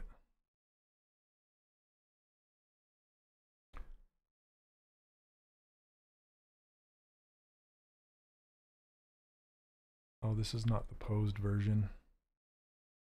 So here she is not posed. Uh, I use Cinema 4D for my 3D models, but when you download a, you sh should get it free, but I don't see it. Is Cinema 4D only available through Maxon? Yeah, you could. You should. I don't work for Maxon. I'm a volunteer here, so I I can't answer your question completely, but I do know that uh, Cinema 4D is owned by Maxon. See if I can find her pose. Wifey, okay.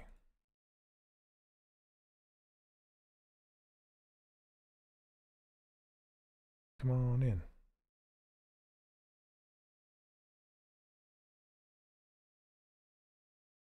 There we go.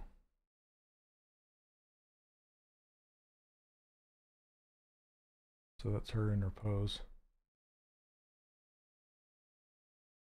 That's her her outfit from Rogue One. It's really fun to get these the cloth and stuff happening like this. But here, one second. Let me grab the toy itself.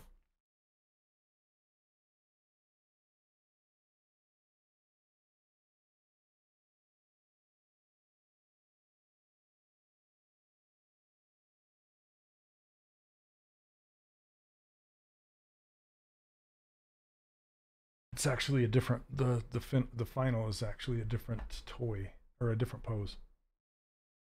Hello. Okay, let's see. It's the face isn't painted.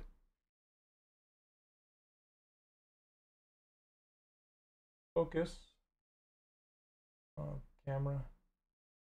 Focus on my fingernails. Wants to focus on my shirt.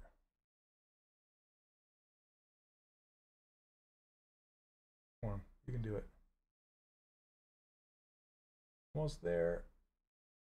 Oh, what my watch? There it goes. Okay. Here.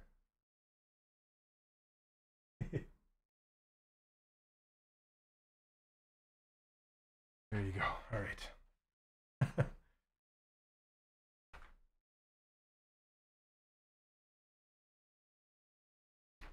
Okay, let's see. Rogue 2. Big bubbles. Oh gosh. Very funny.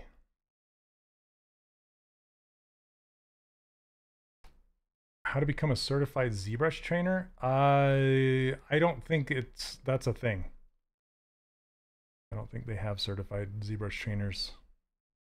I've been training, I've been teaching ZBrush for I don't know, six years now, and I'm not I'm not certified.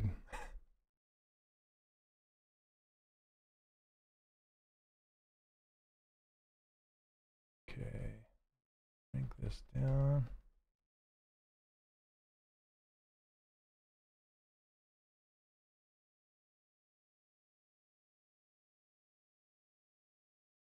Bring this up.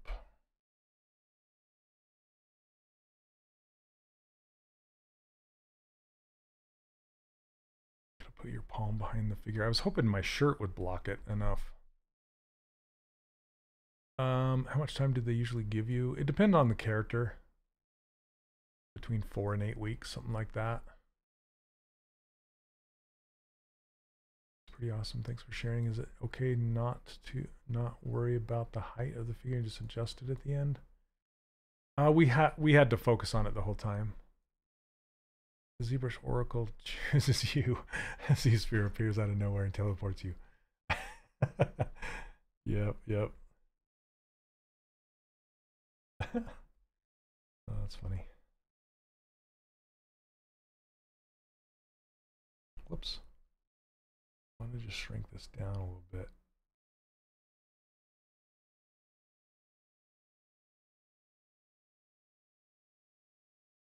If you see a zebra certification course, run. oh, I know which one you're talking about, dude. yeah, so can I just say, George, that was not that was not official. Not official.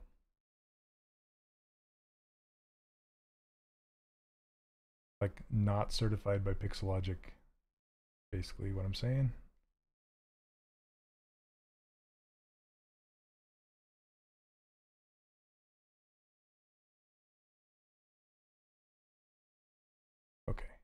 Let's get some eyelids going on here.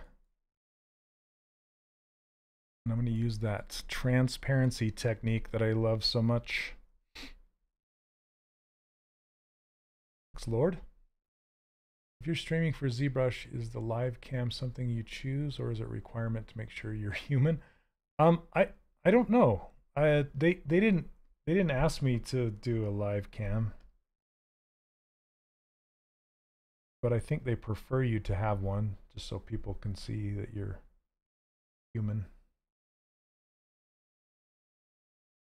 So the reason I like to do this technique, because you can turn on the transparency so you can see right through the head. And that way uh, your your lines, your curves will snap to the eyeball and not to the surface of the head.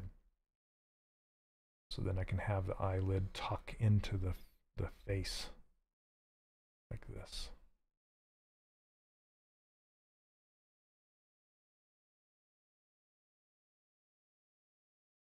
There you go. Hey, George, are you going to the ZBrush Summit this year?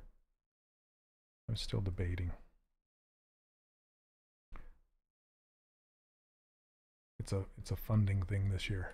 oh, but I didn't know at the time. Yeah, like most people. okay, let's see. Uh, split. Let me split and unmask points. Arrow down, turn off transparency, and here is, are the eyelids for this guy. For the upper eyelids, anyway. Turn on dynamic subdivisions. And I should have went one more down into the head right here, but that's okay. Hello, Snare.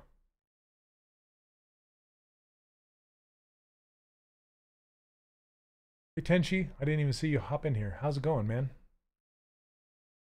Um, I don't think so. It's their first year back in person, right? Yep. Probably try and jump in the sculpt off. That's a good idea.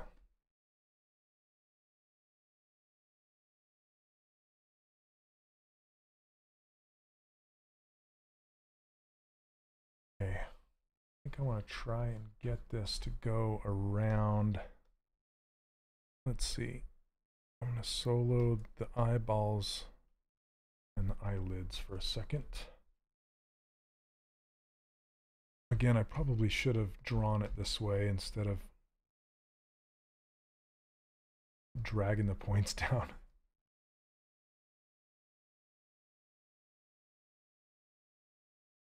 So did you get all certified then? Sorry.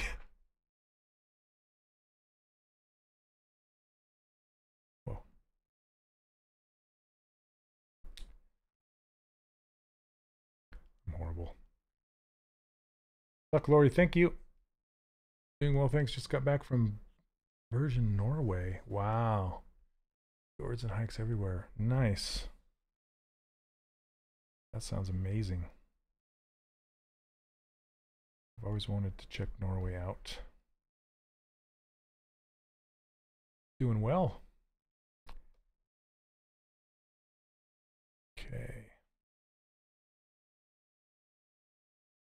Just trying to get this eyelid to curve down to down to the like the tear duct. So it's kind of curving down tight all the way down to here rather than going and like disappearing into the nose. So I'm just going to work on that a little bit more. Um, not liking how the construction is looking.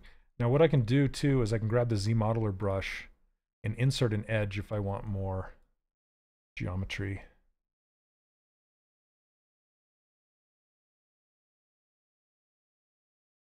It's like, why isn't that handling the way I wanted to? the ZModeler brush also has a move built in if you grab the vertex. So I forgot to switch over to my move brush, but it was still working, but it was just fast. And I'm like, why is it so fast?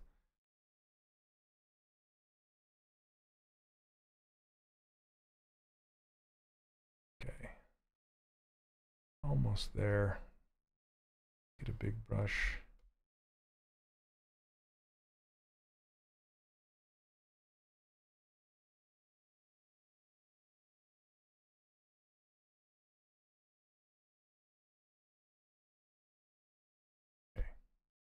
Turn on transparent so we can actually grab so it's it's long enough it's just not forward enough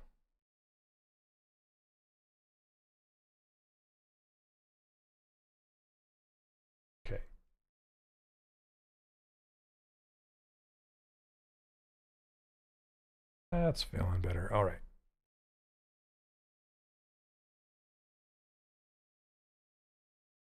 expose a little bit more here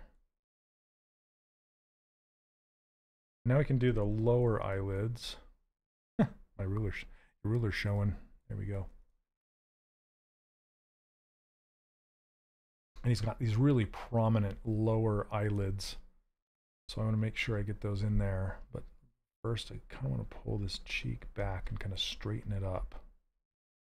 So it doesn't come forward so much.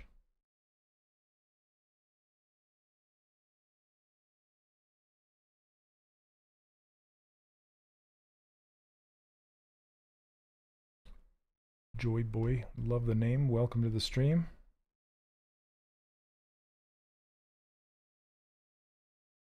Okay, so with this one, well, I'm going to select the eyeballs again, hit transparent, and then we'll do the same thing, but I'm going to do, I'm going to draw the top line on the eyeball itself. And then the second line, I do want to snap to the, to the actual face. So I'm going to turn off transparency for that step. So now it'll snap to the surface of his head, like his face right here, rather than the eyeball. Um, that ruler came in real handy a couple weeks ago. Awesome. How to fix somebody's 3D print file for them. Yeah, it's, even though we have Scale Master, I still, I, I don't know why, I just don't trust it. So I trust the ruler, and I actually use the ruler to go back and forth between um, Reallusion and ZBrush. Let's see, you know what? I think I'll just do it like this for now. Give it some depth. Hmm, I think I'm just going to go single-sided. Boom. Come on. Sometimes it doesn't want to take. I have to see all these little dots. Come on. You can do it. Little. There it goes. Okay. Sometimes when you set it to draw size 1, it doesn't want to, uh, it doesn't think you're going to, you know, finish it off. So you kind of have to do a couple tries. Okay, so split on unmask points, arrow down. Now we have this lower eyelid can actually turn on dynamic subdivisions. Ruler always works to keep scale and consistency. Yep, and I give this ruler away for free if you're new to the channel here or new to the live stream. Um, it comes with my free brushes, my user interface. You can get it over at uh, 3dcharacterworkshop.com. And I, I use it for all of my 3D printing. Basically, it's this guy right here and it's a 20 centimeter tall ruler, or you can use it as two meters tall and pretend this is 200 centimeters tall. And that is how I, uh, that's how I go back and forth between Reallusion's character creator and back to ZBrush again. I use this ruler and I set the world, uh, the, the world measurement to 200 centimeters tall, and then I can go back and forth with ease. I also do that with Maya. And essentially all it's doing is it's changing this export number right here. The default is one, but it changes it to 100. And that way this the height becomes uh, 100 times the height of the regular uh, typical ZBrush unit, I guess. So it helps out a lot. You can go back and forth between any any software that has a scale like that of, of a meter, essentially. Okay. Yeah, scaling scaling can be tricky. It can be hard to get the right scale. Okay. So it's much easier if you have a known, something known that you can, uh, in your scene that you can rely on.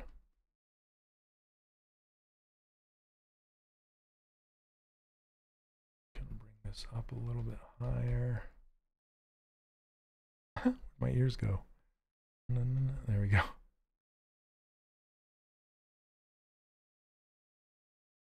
Okay, I was working on these lower eyelids. Here we go. Um, pull these into the head and then kind of make them taper like this. Keep working with OBJ from ZBrush, and that's worked great to bring back and forth so far. Yeah, as long as you set it to the right scale. I typically don't use GoZ because GoZ tends to add extra materials and things that I don't necessarily want. Um, so that works out great. And the the Reallusion, Reallusion plugin uh, is is GoZ, and that one works out really great actually. But the one for Maya, um, it's not as predictable. Just gonna add an edge loop in here, so then I can kind of puff puff this out like so.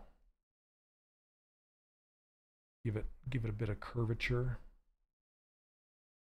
Then I can give it some thickness right here.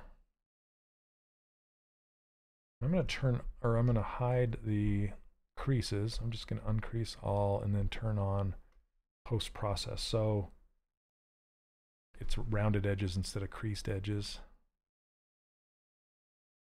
Looks more like softer lower eyelids.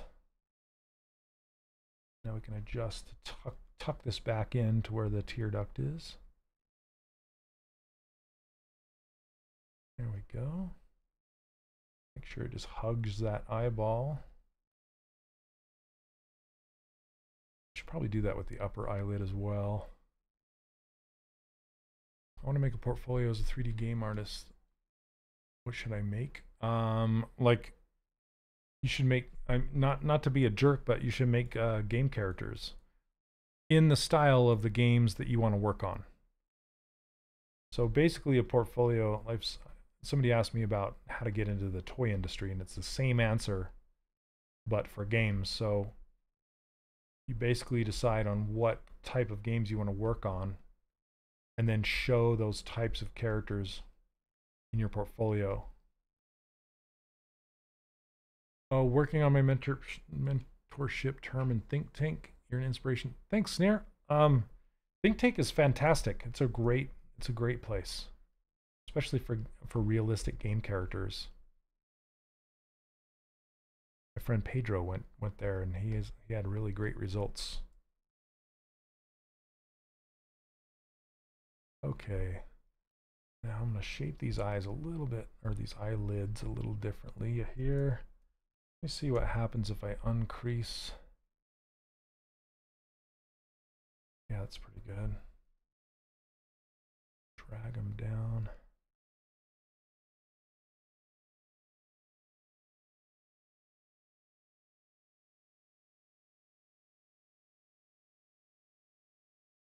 Okay. I actually want to, let's see, bring bring this straighter. Start to get that that I'm gonna try and get this as straight as I possibly can, but I don't know how good I can do it here. Pull this out this in.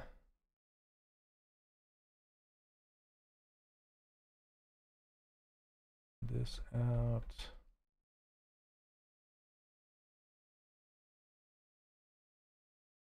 Man, that's tricky.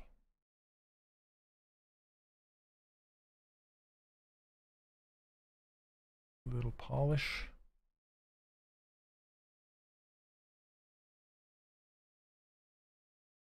There's a Pixar movie, uh, Incredibles 2, has some really, really great planes on the characters, and they're different. So, like the the main antagonist um, has different facial planes than Mr. Incredible, and it's really fun to see the contrast between the two.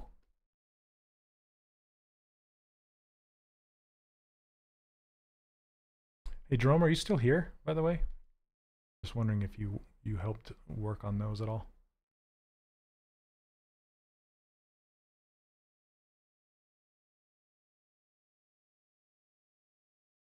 see something here if I can find it to show you.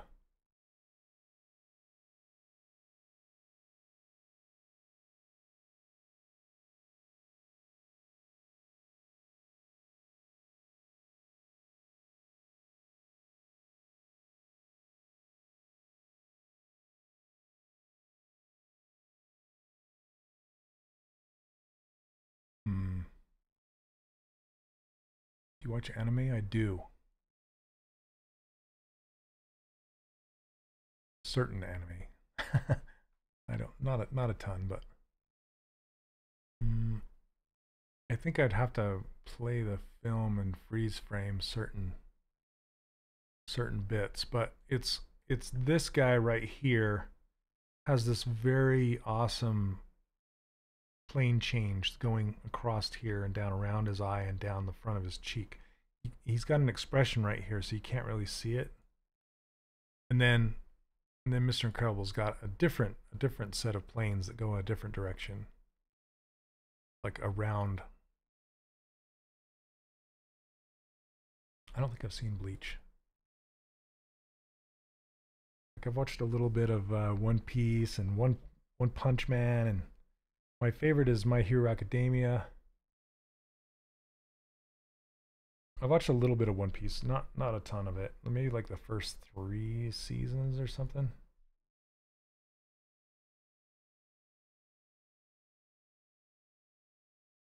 It's a slog. It's long. okay.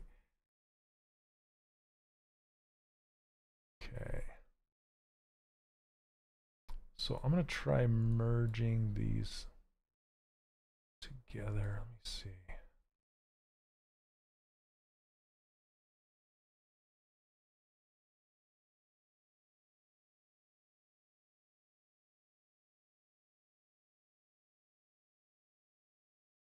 Bring this back. I have not seen all 1,000 episodes of One Piece. But I've seen enough to, to know what it's about. I'm going to be king of the pirates. He just shouts that all the time.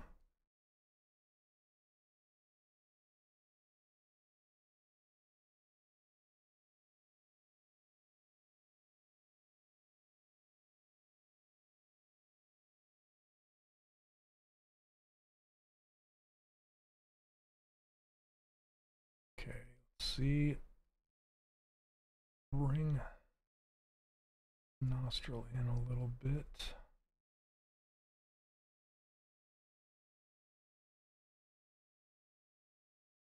Oops. Meant to do this. There we go. To watch Case Closed, but it's like 3,000 episodes. Holy crap.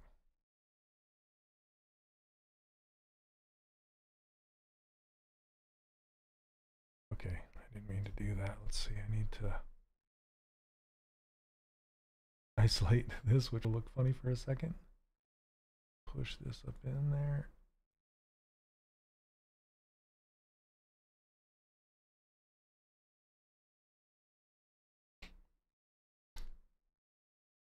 Are you using a tablet? I am not. I'm using a Cintiq.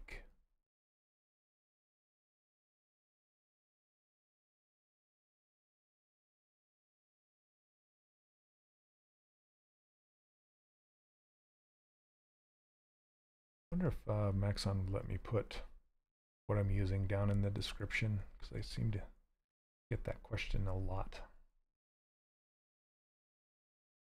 I don't mind people asking it, but it's common.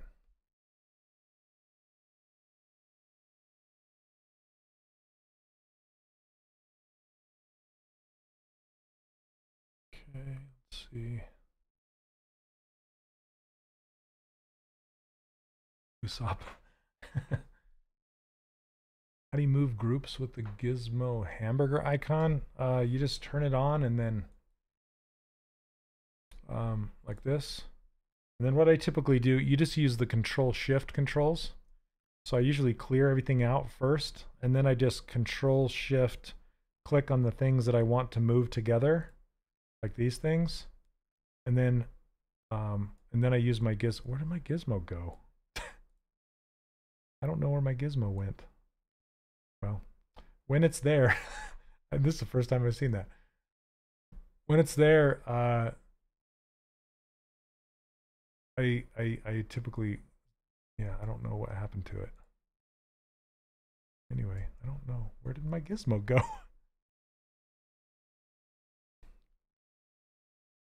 yep, hamburger. It does. It looks like hamburger icon.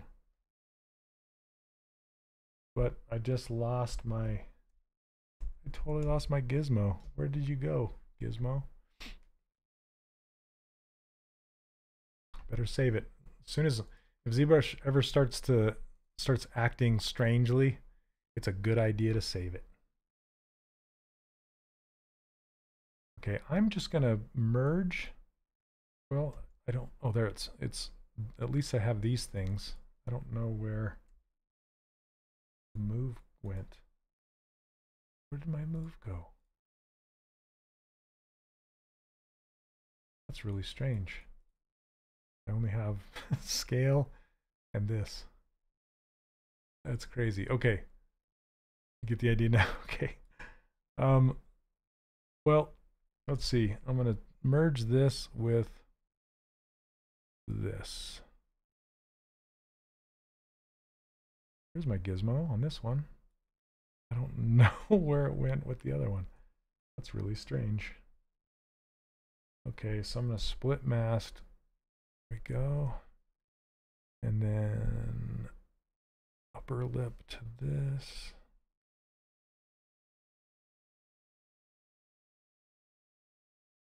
Yeah, I want to merge these two together. I did not know you had to clear the selection, so it was work. Um, that's typically what I do because I can't see what's hidden and what's not. So I'll usually just clear it out completely and then I'll just select the things I want. It's much more predictable that way. Okay. Merge down. Merge, merge, merge down. Okay. Boom. All right. And then hopefully our gizmo is there. There it is. And then go to gear and remesh by union. Boom. Click on the gear, say accept. And now these are merged together. And I can go to Sculptris Pro, turn that on. And I need to go to the stroke, Sculptris Pro, and turn off, turn off adaptive size. Turn symmetry back on, and now I can smooth this out. But it's the the triangles are too too big. So what I can do is click on this uh, subdivide size, grab it, pull it over here, and pick from the surface and now it should be the same size. There we go.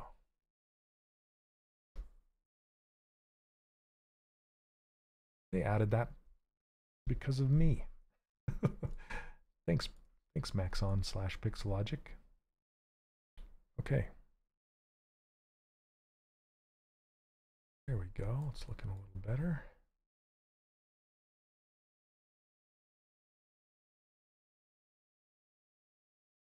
Love the picker. Yeah, it was great. Uh, do you like hard surface? Um, I only really do hard surface when I need to make a prop or something like that. I'm not, I'm not, like I don't make mechs and cars and things like that very much. Could you explain the difference between the different merging options? Explain it to me like you would do a turnip. Like merging options, basically there's I only use one, and that's merge down.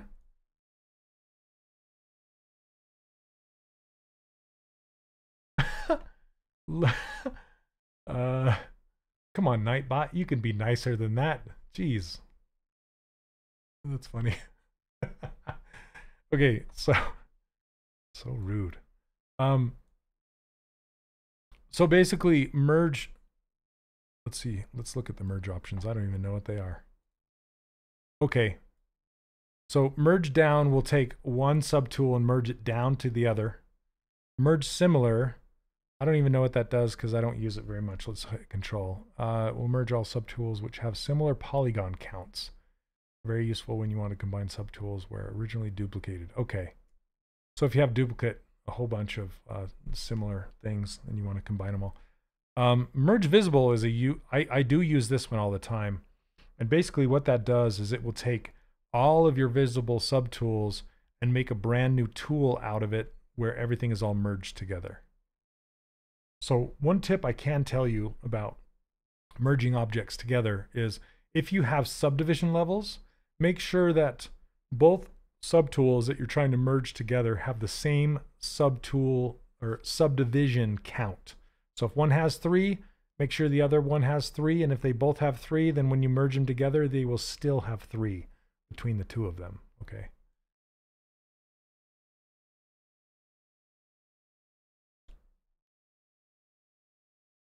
Look, Lori, it's okay if you spam laughter. I'm okay with that. All right.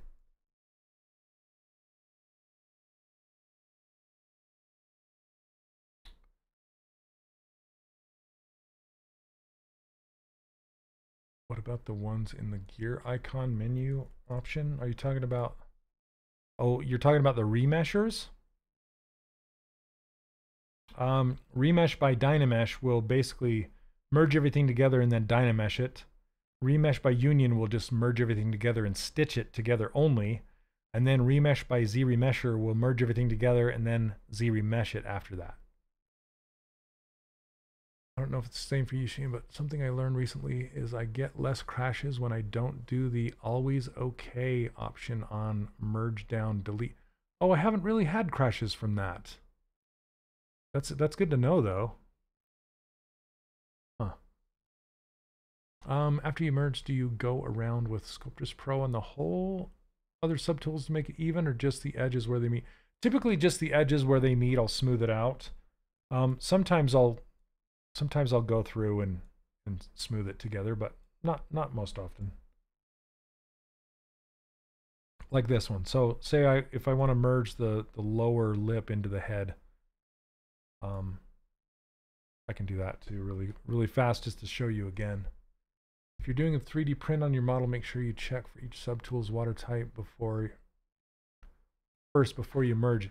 And, and another way you can uh, make sure that it's watertight is um, you know, you can either Dynamesh it or you can remesh by union. Both of those will make, make it watertight. That's nice. For a while, I was getting tons of crashes on merge down. That's crazy.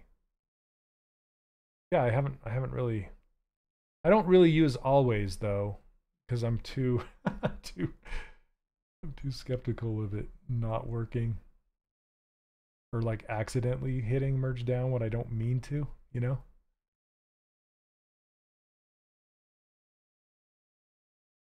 Okay, I'm just going to pull this down a little bit, check that nose, and then I'm going to actually merge the nose and the lower lip into this head. So let's see.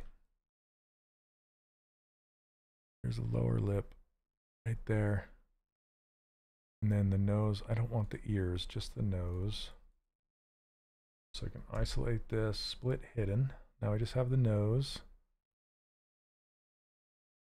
right there. I hope you didn't curse me, George. It doesn't crash, I better save it before I do this. I feel like 2023 has specific crashes, usually um, having to do with local symmetry. Since they added that, it's got some, some crashes associated. What if the tools have the same level but different density, it doesn't matter as long as they have the same subdivision level. Okay. Um, like if one has four and one has three, you'll lose one of the subdivision levels. Or you'll just lose them all. Uh, let's see. Okay. Grab this one and then say merge down. Okay. that's, and then this one merge down. Okay, and now we have these. So I can solo this so you can see it just by itself. And now I'm going to do a remesh by union. Rinse, repeat. Remesh by union. Click on the gear, say accept. Take a look, closer look at it. And it will stitch my mouth closed, and that's okay. Uh, if nothing else, ZBrush has gotten real good at recognizing it's crashing and saving before it goes. Yeah, that's true. Do you usually finalize your models with Polypaint or do you use another software for that? Usually I'll do Polypaint. I'm, I'm, a, I'm a huge fan of Polypaint. I love color because I feel like color has weight and it can change the look of your entire model. So I, I like to get color on there as soon as possible, even from the very beginning. Um, and then what I'll do is I'll bake that color. If I'm going to use something like a Substance Painter to do the textures, I will I'll bake I'll bake the poly paint into the base color texture.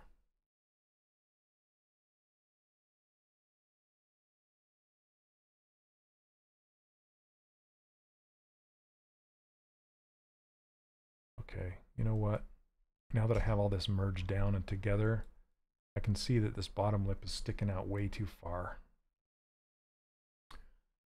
Um, what's the current ZBrush 2023 build? Um, I have 2023.2. I don't know if, I think that's the latest. Where do you do your final renders after Substance Painter? Um, it depends on what I'm trying to do. Um, if I'm doing a game character, I'll typically render it out in like Marmoset Toolbag or even Substance itself. Um, but if I'm doing it for like a, a, a nicer presentation, I'll either use Keyshot or Red, what is it called? Redshift? Um, or Blender, like Cycles or something like that. It just depends.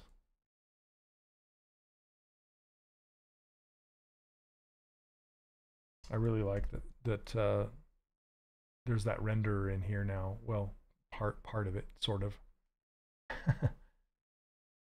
I had a perpetual license, so I'm stuck in the last version of that. Now I just cry whenever I see the new features. yeah, I think I think a lot of people are there. Bring this neck down. It's a little too far, far back.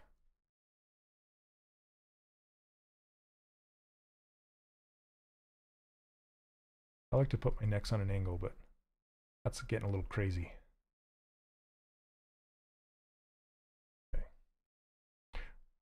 I might be able to continue this next week.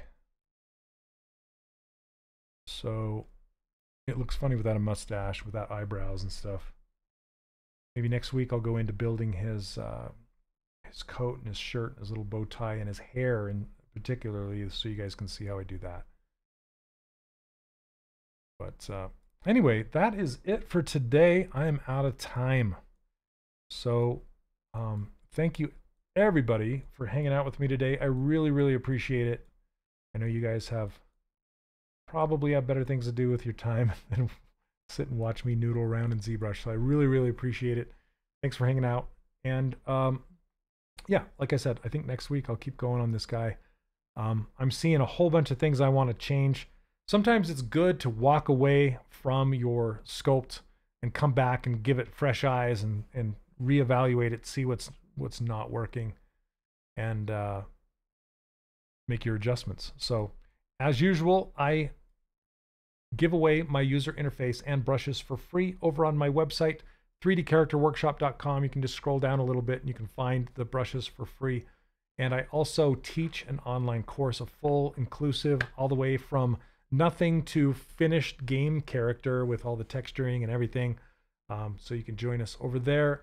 And I also teach one on one coaching if you're interested in that. And I just barely started a brand new Patreon if you're interested in that. So, um, yeah, thanks so much, everybody.